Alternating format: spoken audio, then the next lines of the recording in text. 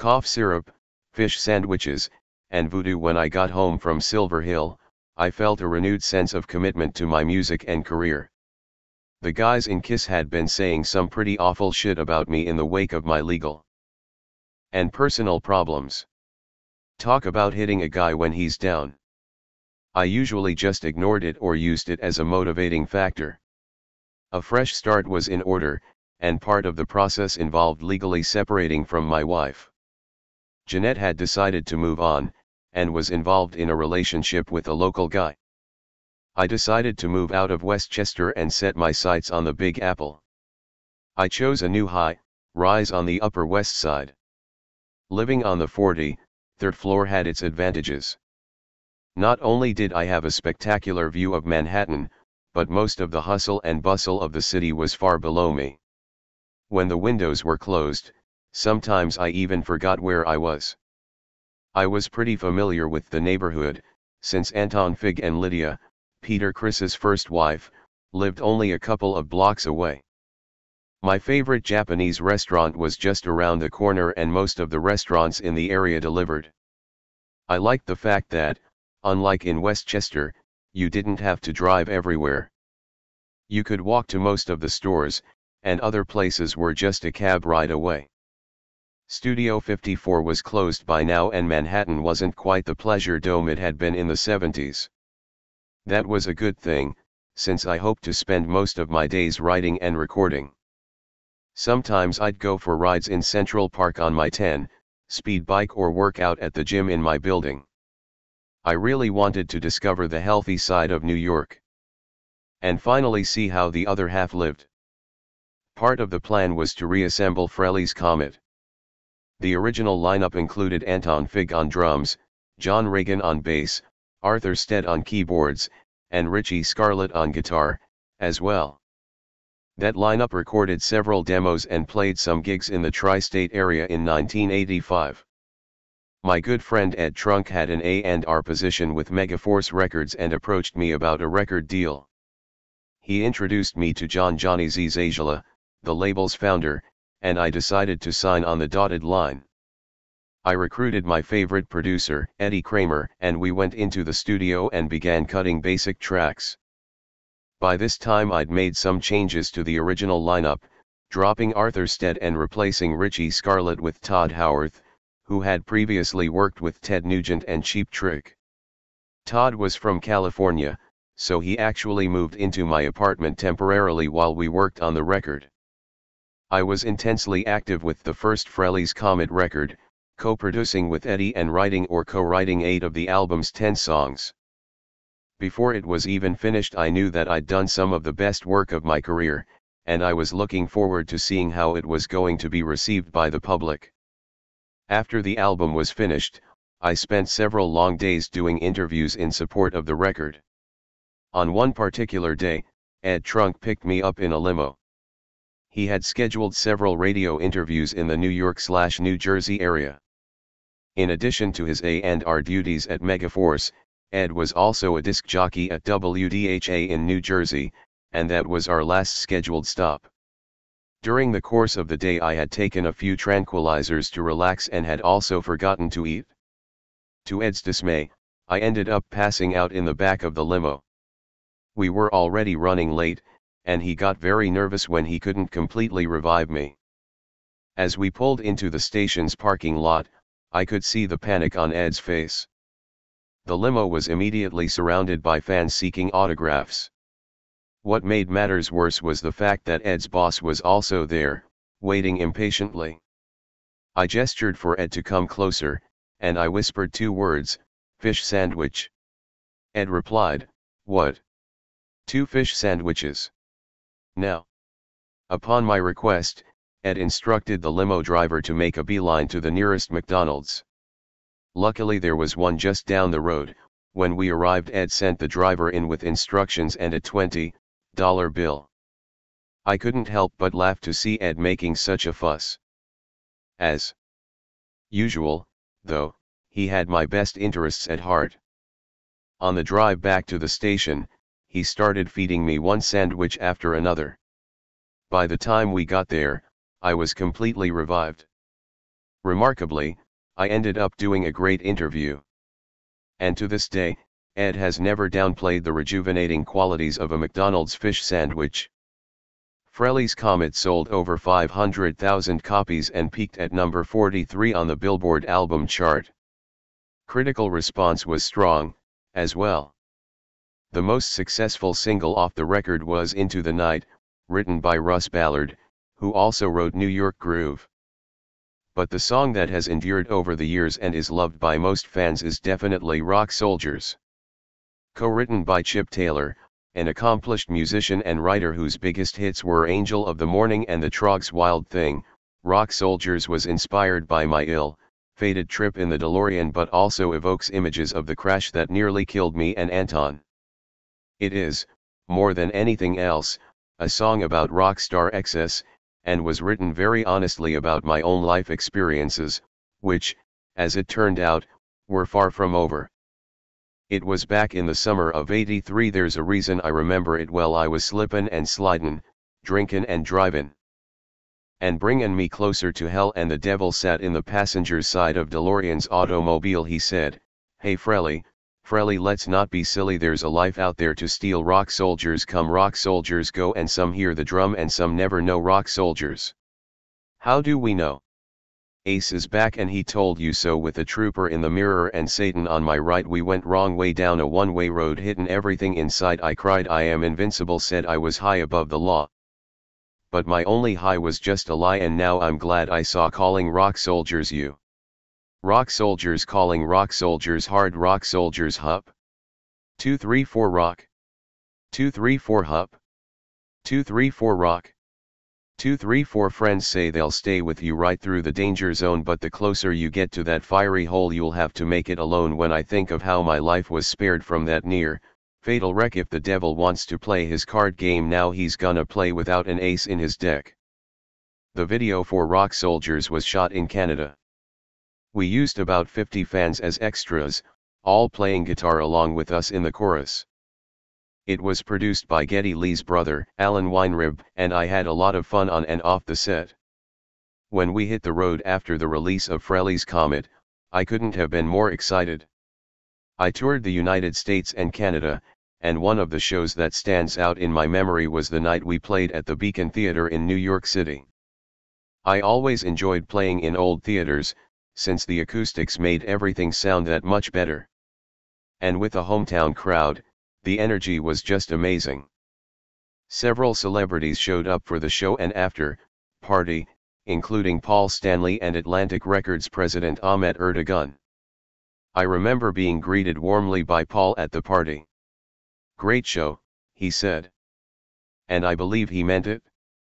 He was really happy for me. Ahmet seemed equally impressed with my performance. I was glad I finally got a chance to talk with such a legend in the recording industry. While I was performing down in Florida, I had a chance meeting with a fashion model. We were playing a local theater in Miami and everyone was revved up for the show. We had arrived in town early, and I ended up hanging out by the pool, soaking up the Florida sunshine. I noticed a few models doing a photo shoot by the tennis court, but I didn't pay much attention to it until I saw this really striking blonde.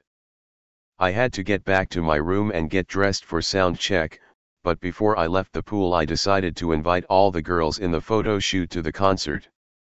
They accepted the invitation and I quickly went back to my room and then headed over to sound check. We put on a great show that night, and after three encores the crowd still wanted more. I couldn't help but notice the cute blonde I'd invited to the show, since during the concert her eyes were mostly focused on me. After I got back to the hotel, I couldn't remember if the girls I'd invited were actually staying at the hotel.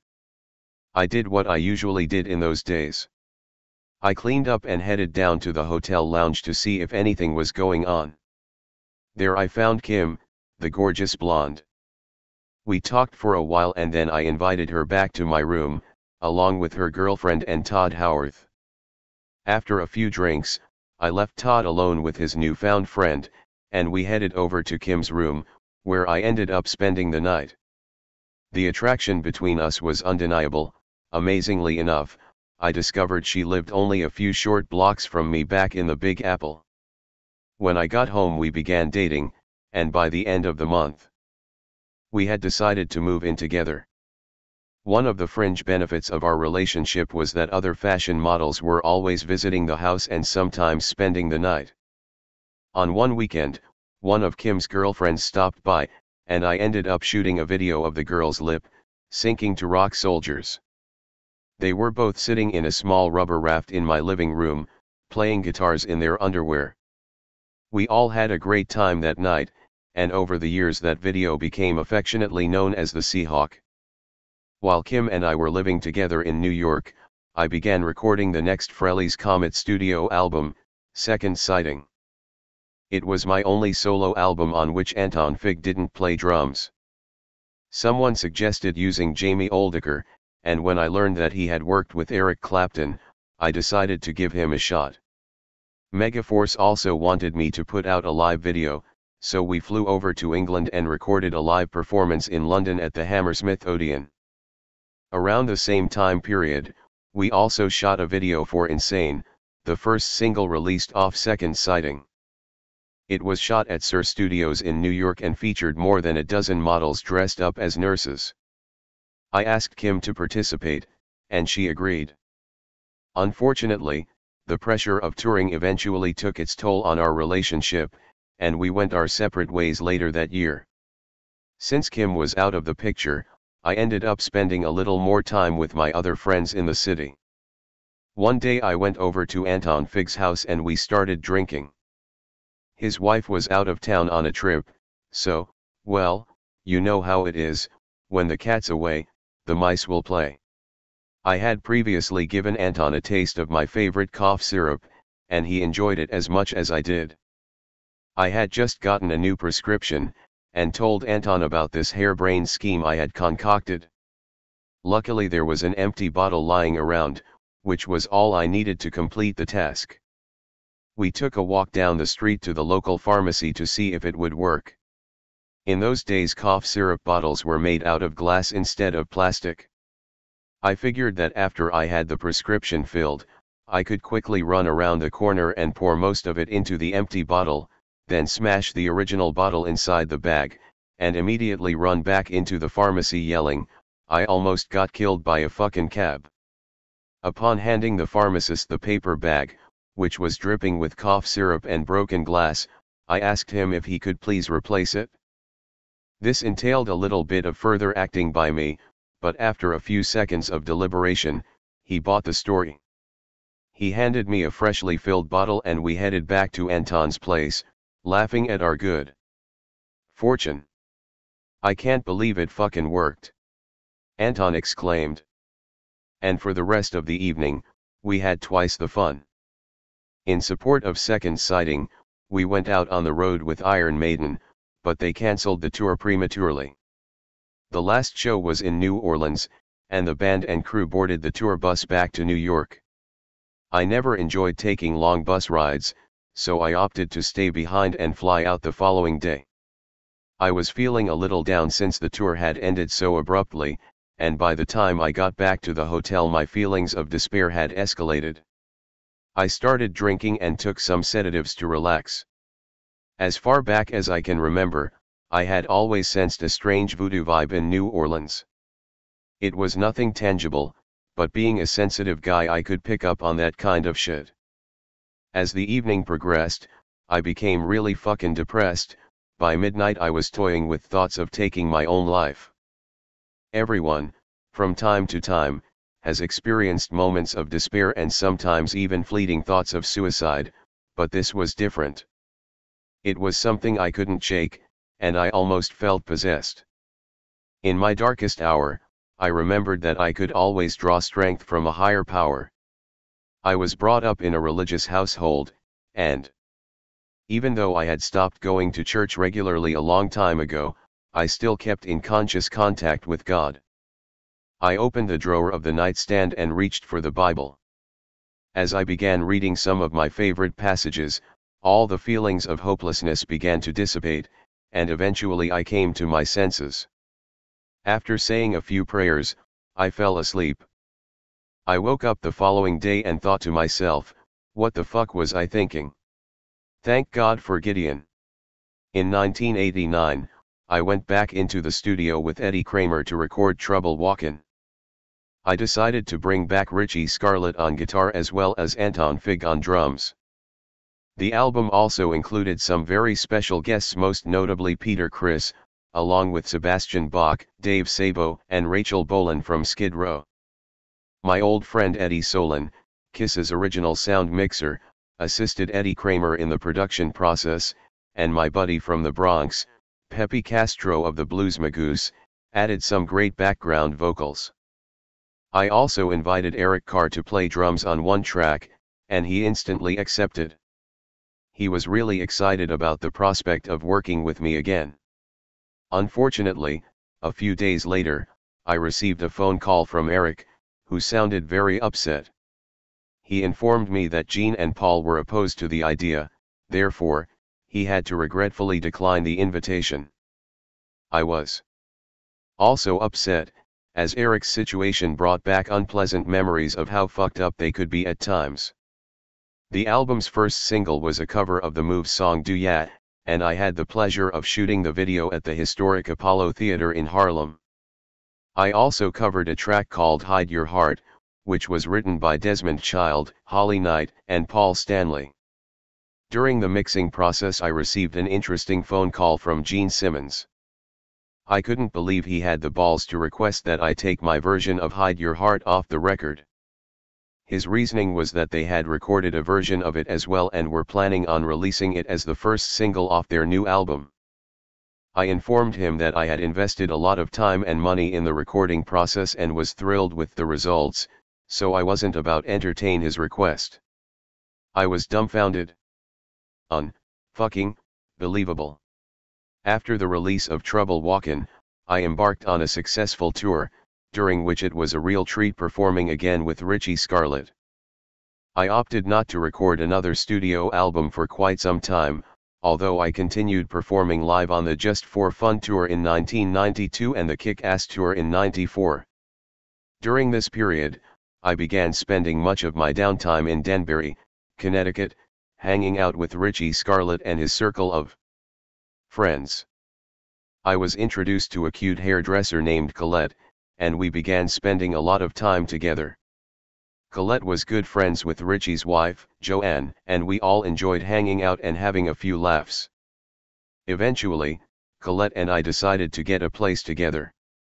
One Sunday afternoon, while we were out a ball game, I locked my keys in my 4x4.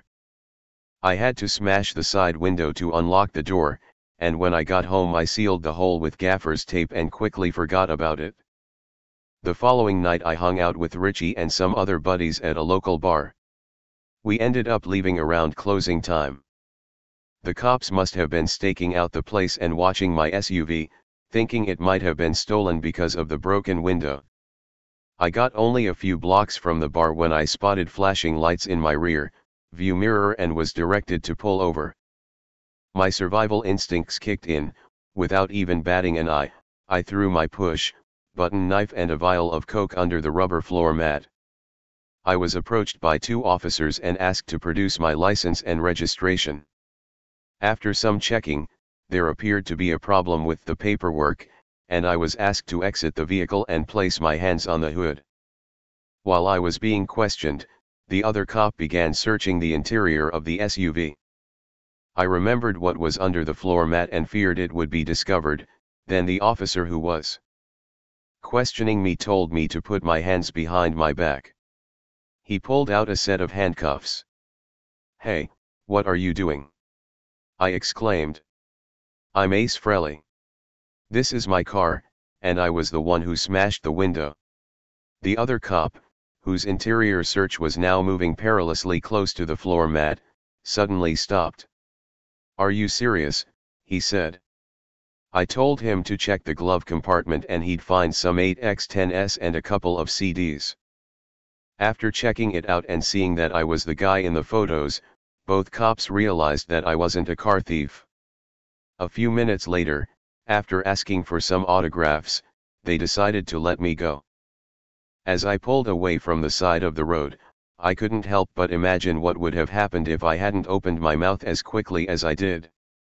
I would have been charged with possession of a lethal weapon and an illegal substance. Either charge alone would have been sufficient to get me thrown in jail, together they would have sealed my fate. As I continued down the road, I realized that my guardian angel had once again intervened. And I couldn't help but wonder, how many more close calls will I have before my luck runs out?